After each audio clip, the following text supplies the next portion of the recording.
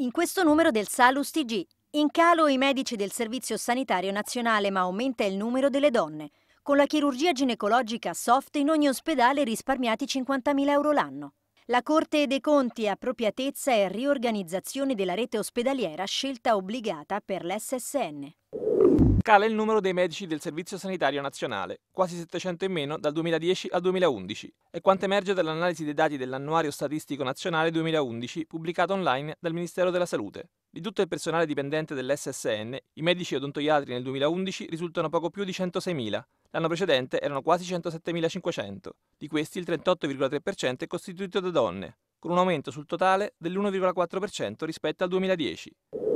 Meno dolore, rischio minimo di traumi e complicanze, ricoveri e convalescenza più brevi.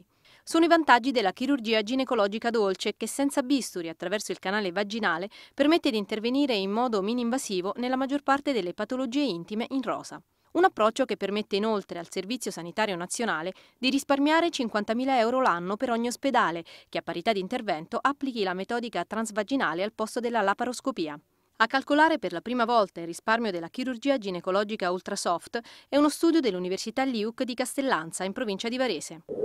L'appropriatezza in sanità? Una scelta obbligata per portare a coerenza i crescenti fabbisogni, gli obiettivi di riqualificazione della spesa e il miglioramento delle prestazioni. È la conclusione che emerge dal rapporto 2014 sul coordinamento della finanza pubblica della Corte dei Conti, presentato a Roma. Secondo i giudici contabili, un elemento cardine di una strategia che punti a recuperare margini di manovra dal riassorbimento delle spese inappropriate è costituito dal processo di razionalizzazione delle reti ospedaliere.